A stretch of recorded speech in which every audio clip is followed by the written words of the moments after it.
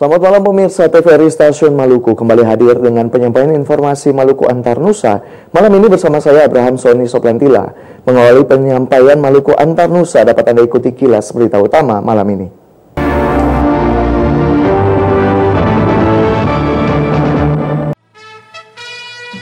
Pelni siap antisipasi lonjakan penumpang Natal dan Tahun Baru. Pelindo 4 cabang Ambon tingkatkan pelayanan.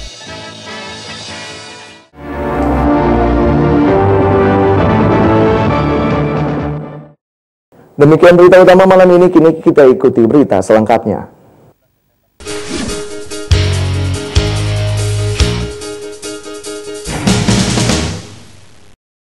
Pemirsa mengantisipasi lonjakan penumpang Natal 2017 dan Tahun Baru 2018, PT PLNI Cabang Ambon akan melakukan penambahan set, penambahan satu kapal dan rekayasa trayek. General Manager PT PLNI Cabang Ambon Hambali menegaskan, untuk rekayasa trayek akan dilakukan pada dua kapal, yakni KM Ngapulu dan KM Tidar.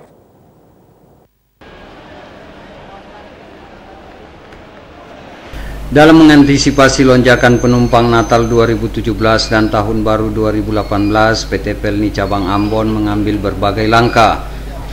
JM PT Pelni Cabang Ambon Hambali menegaskan pihaknya akan melakukan berbagai langkah antisipasi yakni penambahan seat, penambahan satu buah kapal dan rekayasa trayek. Untuk rekayasa trayek, Hambali menyatakan ada dua kapal yang akan melakukan rekayasa trayek yakni KM Ngapulu dan KM Tidar. Rekayasa trayek kedua kapal tersebut untuk mengantisipasi lonjakan penumpang dari Ambon ke wilayah timur maupun tenggara dan sebaliknya. Kedua kapal itu selama angkutan Natal dan Tahun Baru tidak melayani pelayaran ke arah barat. Untuk penambahan kapal, PT Pelni Cabang Ambon mendapat bantuan satu buah kapal yakni KM Cirimai. Sementara penambahan seat berkisar antara 30 hingga 75 persen tergantung alat penolong yang tersedia di atas kapal. General Manager PT Pelni Cabang Ambon Hambali kepada pers di Ambon mengaku dengan adanya berbagai langkah antisipasi yang dilakukan itu, pihaknya optimis dapat mengatasi lonjakan penumpang untuk Natal 2017 dan Tahun Baru 2018. Penambahan uh, seat itu disertai dengan penambahan alat penolong yang kita bisa sebut ada namanya lifeboat, ada life jacket dan lain-lain. Jadi tidak hanya ditambah saja tanpa menambah alat penolong. Itu poin pertama. Yang kedua, bahwa untuk peak season ini kita ada ketambahan satu kapal KM Cirimai dengan jumlah kunjungan 4 call. Yang ketiga ada rekayasa trayek KM Gapulu dan KM Tidar. Total kapal yang menyinggahi pelabuhan Ambon untuk mengantisipasi lonjakan angkutan Natal dan Tahun Baru kali ini sebanyak 9 buah. 5 buah kapal tipe 2000 dan masing-masing 2 kapal tipe 100 dan 500. Boy Nahrum Hamsa melaporkan. Supaya tulis jangan salah maksudnya. Kasihan orang. Dalam meningkatkan pelayanan bongkar muat khusus untuk peti kemas di Pelabuhan Yusudarso, PT Pelindo 4 Cabang Ambon mendatangkan 3 unit alat bantu bongkar muat. Ketiga unit alat bongkar muat yang didatangkan dari Cina itu untuk melengkapi peralatan pendukung yang sudah ada sebelumnya.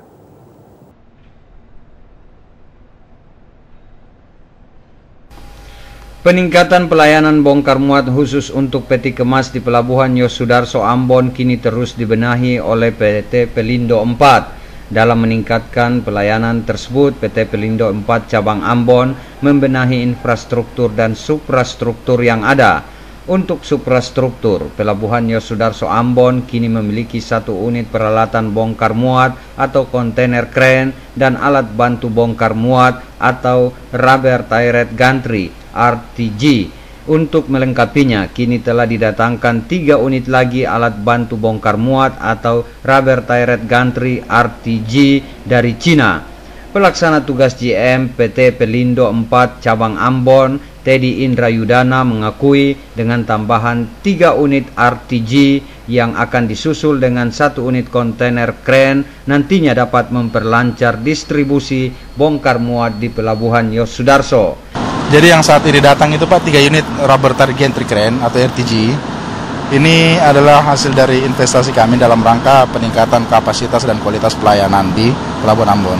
Yang datang ini uh, memiliki kapasitas itu sampai uh, daya angkat 40 ton dengan kapasitas tumpuk sampai ke 5 tir kurang lebih dengan 3 unit. Dan semua baru Pak. Fresh from the factory. Kapasitas daya angkut per unit RTG atau alat bantu bongkar muat dapat mencapai 40 ton diharapkan dengan datangnya 3 unit alat bantu bongkar muat tersebut distribusi masuk keluar peti kemas dapat dipercepat. Teddy Indra Yudana menyatakan bila tadinya per jam 18 sampai 20 peti kemas, sekarang dapat dipercepat hingga 30 peti kemas per jam. Boy Nahrum Edmond Tupan melaporkan.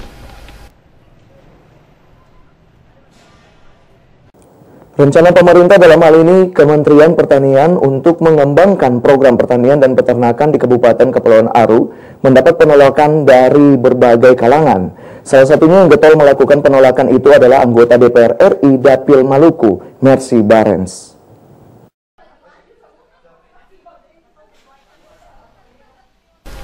Penolakan terhadap rencana pengembangan program pertanian dan peternakan oleh pemerintah dalam hal ini Kementerian Pertanian disuarakan berbagai kalangan. Anggota DPR RI daerah pemilihan Maluku Mercy Barens salah satunya yang paling getol melakukan penolakan.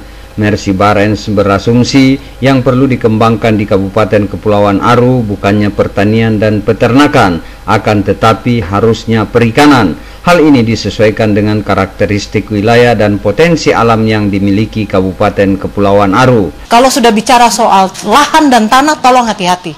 Karena banyak sekali hak-hak ulayat masyarakat yang apa namanya uh, akan diganggu kalau sampai uh, apa namanya investor ini kemudian dia masuk dan kemudian mengatasnamakan Pak Menteri yang telah memberikan green light seperti itu. Pak Menteri memberikan penawaran tapi pada akhirnya ketika investor mau masuk ikut peraturan. Tanya masyarakat mau apa gitu loh. Hari ini kalau Pak Menteri datang itu dengan pengembangan pertanian saya dukung 100% pengembangan perikanan saya dukung 100% ini kan membuka 198 ribu hektar itu kan kan tidak masuk akal. Suka atau tidak suka pasti tebang pohon dan masuk hutan besar dan sudah pasti kayu-kayu yang sangat mahal itu akan habis. Saya tidak ingin ada indikasi illegal lodging dan lain-lain. Mudah-mudahan itu semua dijauhkan.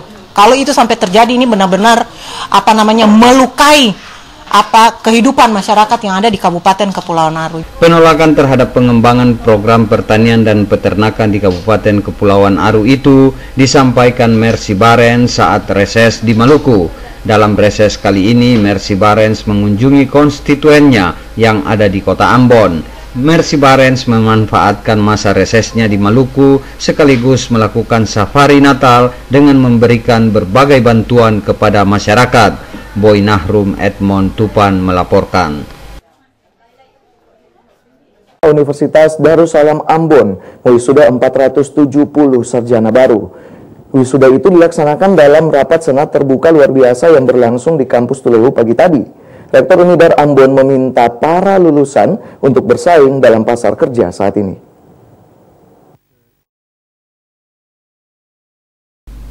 Rapat Senat terbuka dalam rangka wisuda 470 orang sarjana baru Unidar Ambon dipimpin Rektor Unidar Dr. Ibrahim Ohorela 470 sarjana baru itu berasal dari 7 fakultas dan 14 program studi dengan jumlah lulusan terbanyak dari fakultas PFKIP. Rektor Unidar Ambon Dr. Ibrahim Ohorela mengatakan Universitas Darussalam Ambon terus berbenah untuk meraih prestasi akademik dengan memantapkan dan menampilkan sebagai lembaga ilmiah yang dipercaya masyarakat. Unidar Ambon terus berupaya menghasilkan lulusan yang berkualitas sehingga dapat memajukan daerah ini ke depan. Oharela meminta wisudawan untuk mengembangkan ilmu yang mereka miliki sehingga berguna bagi pengembangan Maluku ke depan. Ohorela meyakini lulusan Unidar Ambon di bawah Yayasan Pendidikan Darussalam Maluku tetap sah berdasarkan ketentuan perundang-undangan. Yang berikut soal legalitas wisuda tadi. Beta selaku rektor ingin pastikan bahwa legal. E, kaitannya dengan kebijakan Menteri SK 491. Ketua Yayasan Pendidikan Darussalam Maluku Usman Bahta mengatakan Unidar Ambon harus mendapat perhatian. Dengannya Unidar Ambon akan berkembang dengan melahirkan lulusan yang berkualitas. Bahta menyatakan pemerintah sangat membutuhkan pola pikir konstruktif dari kaum cendikia guna kemajuan daerah ini. Para lulusan Unidar Ambon diminta membuka peluang dan penciptaan lapangan kerja agar menekan angka pengangguran di Maluku dan Indonesia. Fani Letahid melaporkan. Pemirsa sebanyak 109 mahasiswa Sekolah Tinggi Agama Kristen Protestan Negeri Ambon di Wisuda. Wisuda berlangsung dalam sidang senat terbuka yang berlangsung Jumat pagi.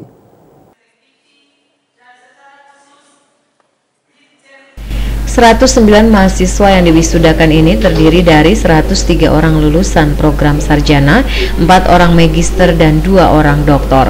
Kegiatan wisuda ini dilaksanakan di Gedung Baileo Siwa 5 Ambon, Jumat pagi. Sebelumnya pada Rabu lalu, ke-109 mahasiswa ini telah menerima gelar sarjana, magister dan doktor dalam yudisium yang digelar di Gedung Olahraga Stakpen Ambon. Mahasiswa dari program studi pendidikan agama Kristen program Strata 1 atas nama Soni Sipasulta berhasil meraih predikat cum laude dengan IPK 3,90. Sedangkan program studi Magister Pendidikan Agama Kristen Herni Tatuhei berhasil meraih predikat pujian atau kehormatan besar makna cum laude dengan nilai IPK 3,86. Ketua Stakpen Ambon Dr. Agustina Kakiai mengatakan tahun ini merupakan tahun terakhir perguruan ini mewisudakan lulusannya dalam bentuk sekolah tinggi. Pasalnya, Sekolah Tinggi Agama Kristen Protestan Negeri Ambon sementara menunggu terbitnya peraturan presiden beralih status ke Institut Agama Kristen Negeri Ambon. Menurutnya saat ini seluruh proses pengkajian dan harmonisasi lintas kementerian atau lembaga terkait proses perubahan bentuk perguruan tinggi Stakpen ke IAKN sudah selesai dilakukan. Aspirasi dari persetujuan aspirasi dari presiden sudah ada, kemudian uh, surat dari harmonisasi juga sudah selesai. Jadi ini sekarang di Menpan karena Menpan uh, dulu baru kembali ke sekretariat negara. Jadi memang kita tunggu proses legalitas saja. Kalau proses pengkajian semua sudah selesai. Saat ini Stakmen Ambon telah meluluskan sekitar 3.000 lebih mahasiswa, baik program sarjana, magister maupun doktor. Pada kesempatan ini juga Kakiai menyambut empat orang dosen Stakmen Ambon yang telah menyelesaikan program studi doktoral. Sementara salah satu dosen Stakpen Ambon yang berhasil menyelesaikan studi doktoralnya di Universitas Negeri Semarang dengan predikat tertinggi dan nilai sempurna atau summa cum laude dengan IPK 4,0 atas nama Dr. Jerry Van Harling. Tahun lalu juga salah satu dosen telah menyelesaikan doktor dengan predikat yang sama. Sementara itu Gubernur Maluku yang diwakili asisten 2 Setda Maluku Maricelo Pulalan dalam sambutannya mengatakan sebagai salah satu perguruan tinggi Stakpen Ambon diharapkan bisa melahirkan lulusan yang memiliki wawasan luas dapat mendorong pengembangan bangsa dan negara serta bisa menciptakan inovasi dan kreativitas di tengah masyarakat. Kristin Sipahelut Kurniawan melaporkan. Basar Pangan menyambut Natal dan Tahun Baru yang dilaksanakan Dinas Ketahanan Pangan Maluku di negeri Utumuri, Kecamatan Lei Timur Selatan, Kota Ambon, diserbu oleh masyarakat setempat. Dua komoditas yang banyak diminati masyarakat adalah telur dan gula pasir.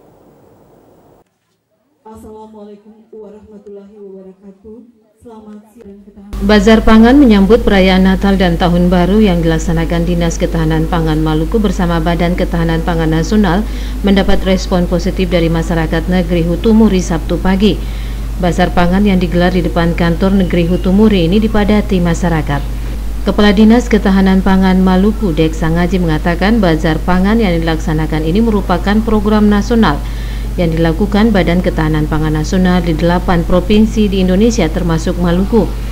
Bazar pangan ini juga sekaligus merupakan upaya bersama untuk membantu masyarakat mendapatkan kebutuhan pangan jelang Natal dan Tahun Baru dengan harga yang terjangkau. Untuk stabilitas harga, ya, dan kita harapkan mudah-mudahan stabilitas harga ini bisa berjalan terus sampai tahun baru. Itu yang utama, ya, karena memang kendalanya sering terjadi itu harga-harga biasanya waktu hari hari besar itu naik. Ya, nah, ini adalah kita akan coba untuk menstabilkan dan kita menjual juga beberapa apa komoditi itu harganya di bawah harga apa eh, pasar ya. Hal yang sama juga disampaikan Kepala Subbagian Sumber Daya Pangan Badan Ketahanan Pangan Nasional, Nyonya Siti Badria. Menurut Badria, bazar pangan yang dilakukan ini bertujuan untuk memastikan kebutuhan pangan masyarakat jelang Natal dan Tahun Baru tercukupi. Saat membuka bazar pangan ini, Gubernur yang diwakili Inspektur Maluku Semiri Sambesi mengatakan pemerintah Provinsi Maluku mendukung sepenuhnya kegiatan bazar pangan ini. Melalui kegiatan ini, masyarakat diharapkan bisa mendapatkan kebutuhan pangan dengan harga yang terjangkau. Oh ini pemerintah sangat mengapresiasi karena ini sangat membantu masyarakat yang menjelang hari besar keagamaan. Jadi bukan saja Natal, juga harus ada Idul Fitri dan hari keagamaan yang lain. Ya ini sangat membantu karena langsung ke desa. Ya, apalagi di desa itu sangat terbatas dengan uh, ketersediaan pangan seperti begini. Jadi ya kami support. Setelah dibuka, bazar pangan yang menjual sejumlah kebutuhan pokok seperti telur, beras, gula, terigu, minyak goreng, dan bawang langsung diserbu oleh masyarakat. Sebagian besar masyarakat yang datang ke bazar pangan ini membeli telur, gula, minyak goreng, bawang, dan terigu. Hal itu dikarenakan harga jual yang diberlakukan di bazar pangan ini lebih murah dibandingkan dengan harga pasar.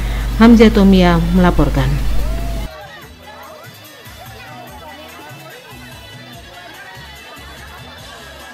Pemirsa sejumlah liputan perayaan Natal umat Kristiani di wilayah kota Ambon dan sekitarnya berikut dapat Anda simak dalam segmen Warta Natal.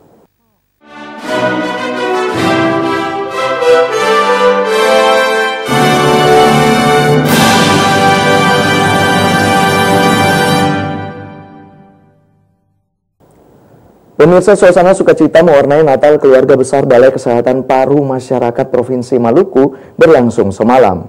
Natal kali ini diwarnai dengan pemberian bingkisan Natal kepada anak-anak yatim piatu Panti Maria Santa Yosep Ahuru.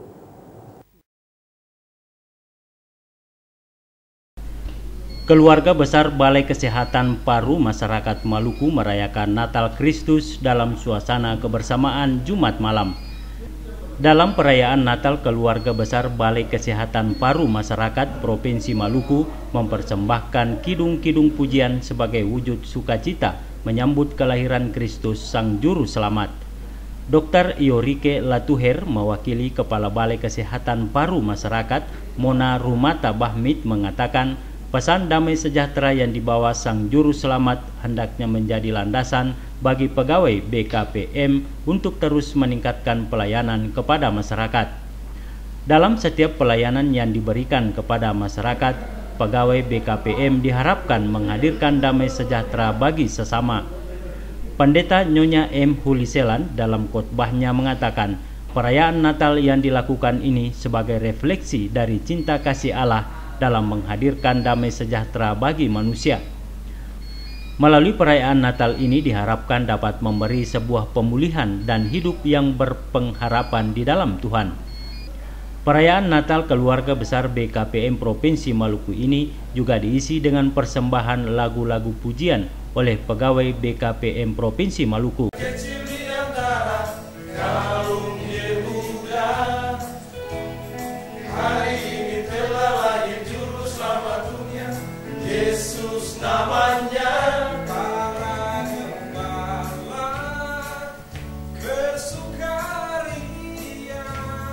Natal BKPM Maluku diakhiri dengan pemberian bingkisan Natal kepada puluhan anak yatim piatu Panti Maria Santa Yosep Ahuru. Fani Letahid melaporkan.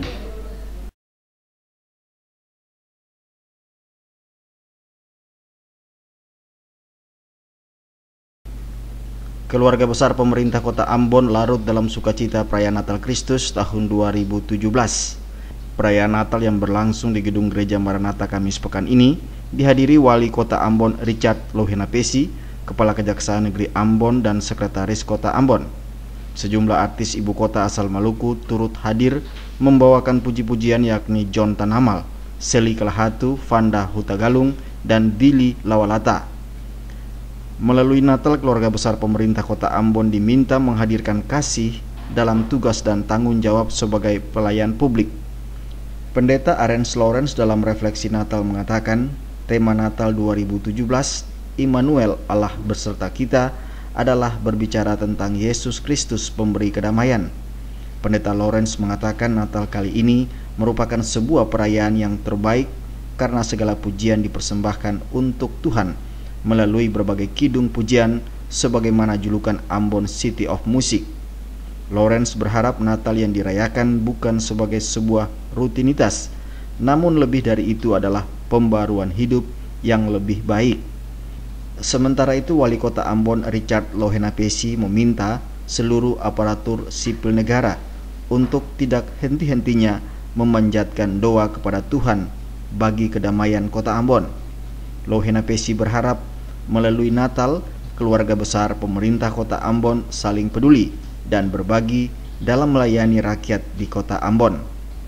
Minggus Noya dan Lamarunga melaporkan.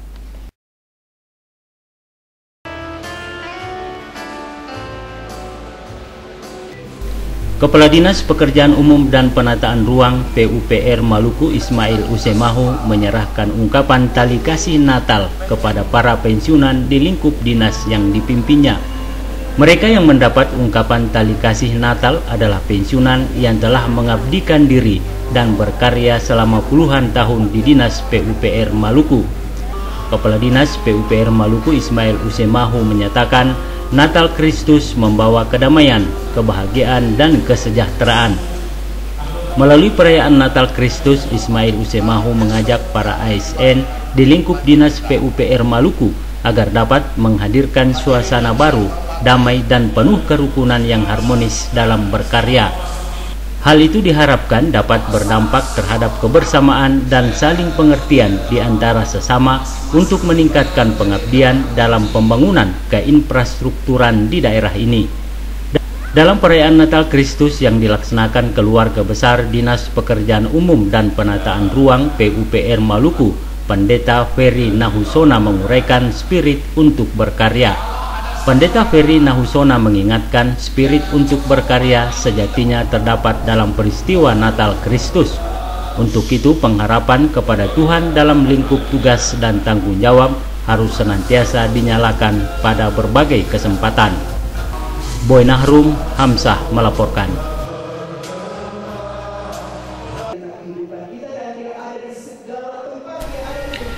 Immanuel Allah beserta kita itu berarti di segala tempat, ruang dan waktu kita semua tidak sendiri melainkan Allah ada bersama kita. Hal ini disampaikan pendeta Erlin Alphonse saat memberitakan kabar sukacita bagi warga sektor 3 Jemaat GPM Silo. Evelyn mengajak umat untuk hidup berjaga-jaga dan saling mengasihi, menghormati satu dengan yang lain. Persekutuan ini haruslah bertumbuh, melayani dan bersaksi, serta bersyukur sebab Allah dalam Kristus ada beserta kita. Ia tidak pernah membiarkan kita hidup dalam kecemasan, ketakutan, kekecewaan, ketegangan, dan konflik batin. Majelis Pembina Sektor 3, Hendrik Watimuri mengatakan, umat dalam harapan penantian Kristus datang untuk kali yang kedua harus beriman teguh, harus bertobat, rajin beribadah, dan berdoa Kristus dalam kesederhanaannya datang ke dunia, demikian manusia juga jangan berpestapora dan hura-hura untuk menyambutnya. Dirinya berharap umat Tuhan lebih khusus warga jemaat GPM Silo sektor 3 untuk menghindari kehidupan yang keras dan gelap seperti kekerasan dalam rumah tangga, miras, judi, narkoba, dan lainnya. Dalam bentuk kasih yang nyata, perangkat pelayan Jemaat GPM Silo Sektor 3 telah melakukan berbagai kegiatan bakti sosial dan pemberian kasih serta kado Natal kepada para lansia, warga Sektor 3, dan anak yatim dari Yayasan Lydia. Sukacita Natal terpancar dalam kesederhanaan di saat kisah kelahiran Kristus disajikan dalam bentuk tarian khas orang Maluku oleh anak-anak warga Sektor 3. Perayaan Natal tersebut melibatkan semua warga dan unsur pelayan yang berada dalam lingkup sektor 3 Jemaat GPM Silo. Riki Niki Yulu dan Edwin Opir melaporkan.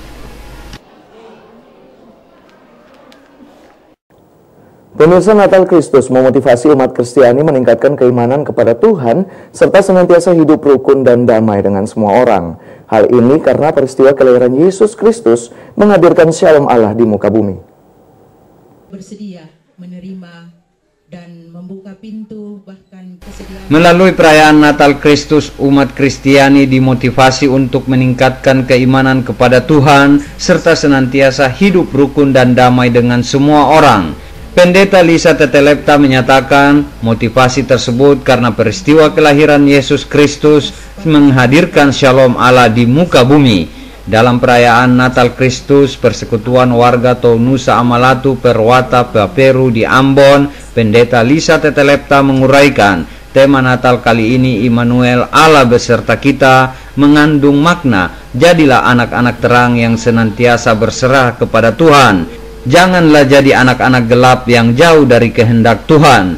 Pendeta Lisa Tetelepta mengharapkan agar persekutuan warga Tonusa Amalatu Perwata Paperu yang ada di Ambon untuk senantiasa ingat dengan sesama yang berkekurangan baik di saat perayaan Natal Kristus maupun dalam kehidupan sehari-hari.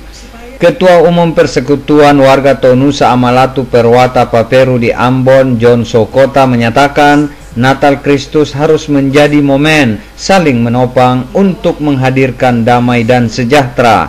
John Sokota mengingatkan selaku anak cucu Nusa Amalatu yang ada di tanah rantau pasti ada kerinduan terhadap negeri yang telah lama ditinggalkan. Oleh karena itu dirinya mengajak warga Perwata Paperu yang ada di Ambon untuk senantiasa peduli terhadap negeri sebagai bentuk tanggung jawab sosial. Boy Nahrum Edmond Tupan melaporkan. Pemirsa kelahiran Kristus adalah bukti dari shalom atau damai sejahtera Allah yang datang menaungi manusia. Dalam Natal Kristus sektor Melati, jemaat dituntut untuk menyatakan shalom Allah itu juga bagi sesama.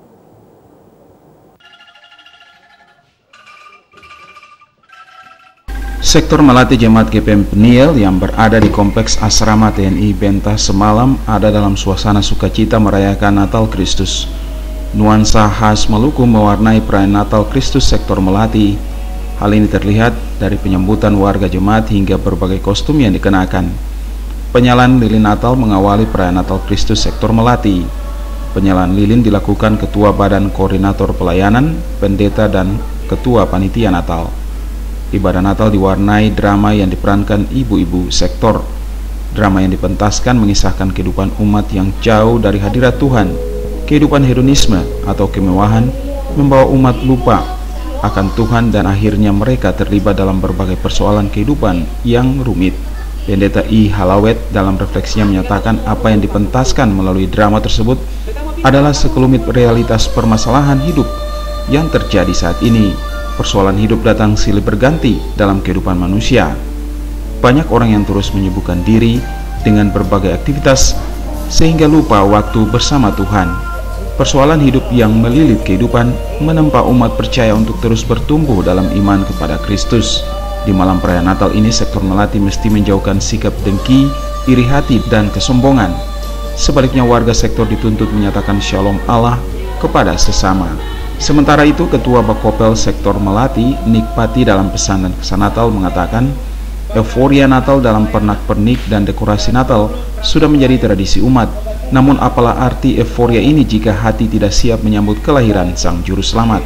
Natal Kristus menuntut umat percaya agar hidup saling peduli dan berbagi dengan sesama. Hal tersebut menunjukkan arti Natal yang sesungguhnya bagi umat percaya. Perayaan Natal sektor melatih jemaat GPM Peniel Bentas diakhiri dengan pembagian bingkisan Natal bagi para janda dan duda di sektor itu. Melki Sauli Minggus Noya melaporkan.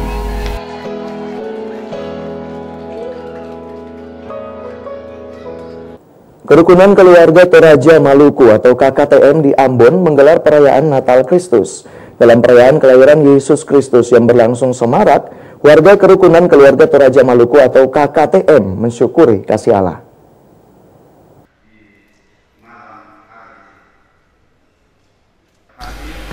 Keinginan merayakan Natal Kristus di kampung halaman bagi mereka yang berada di tanah rantau sangat dirindukan. Keinginan tersebut juga terasa kental bagi warga kerukunan keluarga Toraja Maluku KKTM yang ada di Ambon. Kebersamaan dalam KKTM telah mengobati kerinduan mereka merayakan Natal Kristus di kampung halaman.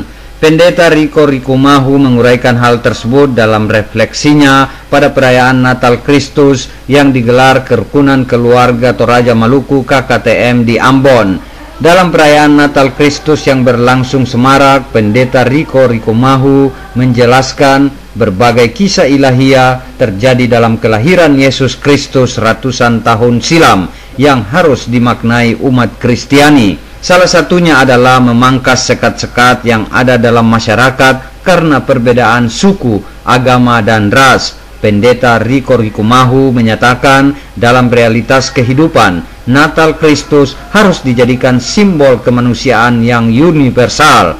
Pendeta Riko Rikumahu menyatakan inti berita Natal Kristus adalah Tuhan akan merubah sesuatu sesuai dengan pengharapan umatnya spirit dan semangat kebersamaan yang diperlihatkan warga kerukunan keluarga Toraja Maluku KKTM dalam perayaan Natal Kristus merupakan simbol kasih Allah kepada umatnya.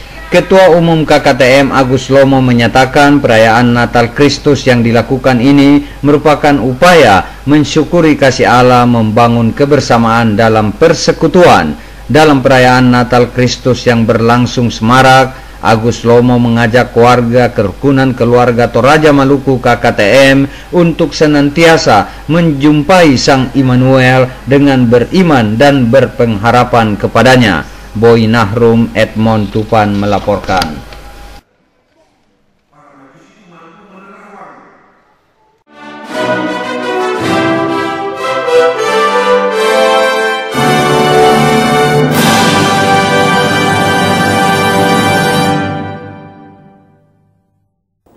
Pemirsa keluarga besar Yayasan Pendidikan Al-Quran As-Sunnah memperingati Maulid Nabi Muhammad Sallallahu Alaihi Wasallam.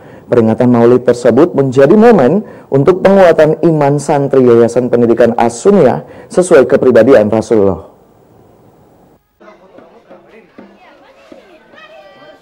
Sebagai laboratorium spiritual moral Yayasan Pendidikan Al-Quran As-Sunnah Ambon saat ini memiliki lebih dari 50 santri Selain melaksanakan kegiatan baca tulis Al-Quran serta kajian Yayasan As-Sunia setiap tahun melaksanakan peringatan Hari-Hari Besar Islam. Pada Kamis malam, keluarga besar Yayasan As-Sunia kembali melaksanakan peringatan Maulid Nabi Muhammad SAW 1439 Hijriah secara sederhana. Pimpinan Yayasan Pendidikan Al-Quran As-Sunia Ustadz Burhanuddin Tidore mengatakan peringatan Maulid yang dilaksanakan ini bagian dari program tahunan. Melalui peringatan Maulid, santri dan orang tua diingatkan kembali terhadap kepribadian Rasulullah. Menurutnya dalam peringatan Maulid tahun ini melibatkan alumni Yayasan Pendidikan Asunia dan perwakilan Majelis Taklim Kepulauan Sula. Kegiatan ini juga dapat meningkatkan ukhuwah Islamia. Ustadz Abdullah Latuwapo saat membawakan hikmah Maulid menjelaskan kegiatan yang dilakukan santri Yayasan Asunia ini bukti kecintaan mereka terhadap Nabi Muhammad Sallallahu Alaihi Wasallam. Peringatan Maulid yang dilaksanakan setiap tahun bukan sekedar kegiatan seremonial, namun dalam peringatan Maulid, jamaah yang hadir hendaknya mengambil intisari dari hikmah yang disampaikan para ustadz. Peringatan Maulid juga dimaksudkan untuk mengenang akhlak Nabi Muhammad Sallallahu Alaihi Wasallam yang menjadi rahmat bagi alam semesta di antaranya, Rasul selalu memaafkan orang yang menyakitinya dan menghormati orang lain serta selalu menjaga persaudaraan. Olehnya, Ustadz Abdullah Latwapo mengajak keluarga besar Yayasan Asunia menciptakan kedamaian dan kenyamanan dalam lingkungan sebagaimana akhlak Nabi Muhammad SAW. Peringatan Maulid itu dimeriahkan dengan suguhan seni dari santri Yayasan Pendidikan Al-Quran Asunia Hamzah Tumia melaporkan.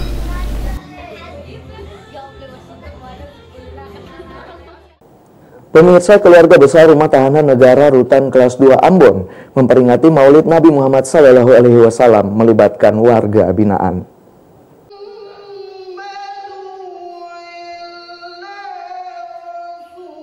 Peringatan Maulid Nabi Muhammad Wasallam oleh keluarga besar Majelis Taklim Rutan kelas 2A Ambon diisi dengan pembacaan Serapal Anam. Serapal Anam yang dibacakan itu berisikan kisah kelahiran Nabi Muhammad Wasallam hingga diutus Allah ke dunia untuk menyiarkan ajaran Islam. Majelis Taklim Rutan kelas 2A Ambon dan warga binaan juga melakukan zikir kepada Allah dan berselawat untuk Rasulullah Wasallam. Panitia pelaksana Alicia mengatakan peringatan maulid ini terlaksana atas kerjasama Majelis Taklim, pegawai rutan dan warga binaan. Kepala Rutan kelas 2A Ambon, Irhamuddin mengemukakan peringatan maulid ini bagian dari kegiatan pembinaan bagi warga binaan di rutan. Harapannya pegawai rutan dan warga binaan dapat mengambil makna dari hikmah maulid yang disampaikan Ustadz. Kepala Divisi Pemasyarakatan Kantor Wilayah Kementerian Hukum dan HAM Maluku, Pujo Harinto berharap pegawai dan warga binaan bisa meneladani akhlak Nabi Muhammad sallallahu alaihi wasallam. Ustadz Slamet Dipin Nubun saat menyampaikan hikmah menjelaskan peringatan Maulid memiliki nilai peningkatan iman dan takwa kepada Allah Subhanahu wa taala serta silaturahim. Hal itu terlihat daripada zikir yang disampaikan jamaah Maulid kepada Allah Subhanahu wa taala dan bersalawat kepada Nabi Muhammad sallallahu alaihi wasallam. Ustadz menjelaskan Nabi Muhammad Wasallam diutus ke dunia untuk melakukan pembaharuan akhlak manusia.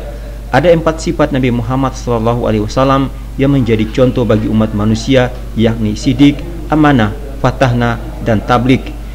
Sidik artinya benar perkataannya dan perbuatannya. Amanah artinya dipercaya terhadap urusan yang diserahkan kepada Rasulullah Wasallam Tablik artinya menyampaikan segala firman Allah yang ditunjukkan kepada manusia.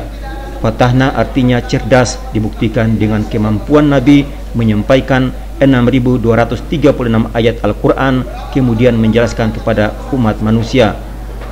Hamjatumia melaporkan.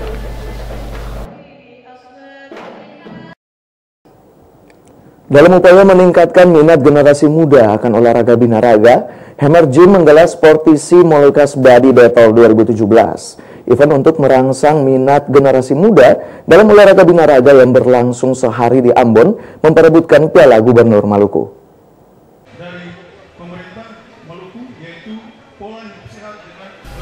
Puluhan atlet binaraga mengikuti Sportisi Molucas Body Battle 2017 Event yang diprakarsai Hammer Gym Ambon merupakan upaya meningkatkan minat generasi muda akan olahraga binaraga. Sportisi Molukas Body Battle 2017 yang berlangsung sehari di Ambon memperebutkan Piala Gubernur Maluku. Kepala Dinas Pemuda dan Olahraga Semi Huai yang membuka event Sportisi Molukas Body Battle 2017 menyatakan minat dan bakat generasi muda terhadap olahraga binaraga harus ditingkatkan. Hal ini agar nantinya akan muncul atlet binaraga dari daerah ini yang dapat berprestasi baik di tingkat nasional maupun internasional. Oleh karena itu, event yang digagas Hammer Gym diapresiasi pihaknya sebagai salah satu ajang meningkatkan bakat dan minat generasi muda. Kita melakukan momen internasional Sportisi Molukas Battle di mana memperebutkan piala bergilir Gubernur Maluku untuk ke depan kita lebih maju lagi uh, untuk para fitness mania atau para para game-game yang lain untuk menyiapkan para atletnya kita akan masuk di event nasional sampai internasional. Sementara pembina Hammer Gym Jacqueline Margaret Sahetapi mengakui event ini sangat positif bagi penggemar olahraga binaraga yang ada di kota Ambon dan Maluku umumnya. Uh, selaku pembina harapan saya kepada uh, Emergim khususnya selaku penyelenggara event kiranya lebih maju uh, untuk ke depan dapat mengembangkan potensi-potensi gimnasium yang ada di Kota Ambon. Dan kepada seluruh uh, uh, para pecinta gym yang ada di Kota Ambon mari sama-sama kita bersatu untuk mendukung semua kegiatan yang ada supaya melahirkan gimnasium-gimnasium uh, yang memang profesional uh, untuk mengembangkan seluruh potensi olahraga yang ada di Kota Ambon. Minat dan bakat generasi muda terhadap olahraga binaraga di daerah ini sangat tinggi. Oleh karena itu, pembinaan harus ditingkatkan melalui berbagai event seperti Sportisi Molukas Body Battle 2017 yang digelar Hammer Gym. Boy Nahrum Edmond Tupan melaporkan.